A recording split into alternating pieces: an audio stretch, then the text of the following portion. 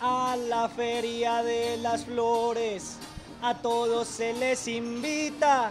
Venga para Medellín y háganos la visita. Al ritmo de trova, la ciudad comenzó a promocionar la versión 55 de la Feria de las Flores, que este año se realizará del 3 al 12 de agosto.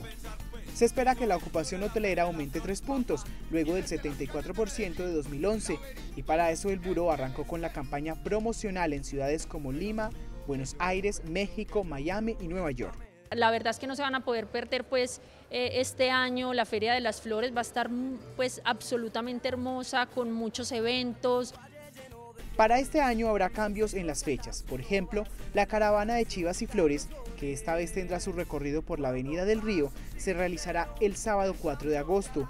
El desfile de autos antiguos y clásicos será el domingo 5, el martes 7 el desfile de silleteros, el Parque Cultural Nocturno del 4 al 10 y cierra la feria el desfile a caballo el domingo 12. Estamos trabajando para tener unas silletas gigantes en distintos puntos de la ciudad, eh, donde la gente va a poder decorar con flores estos, eh, eh, digamos, estas estructuras. A la par a la feria, también comenzaron los preparativos para el sexto Festival Internacional de Tango, que se realizará del 20 al 25 de junio.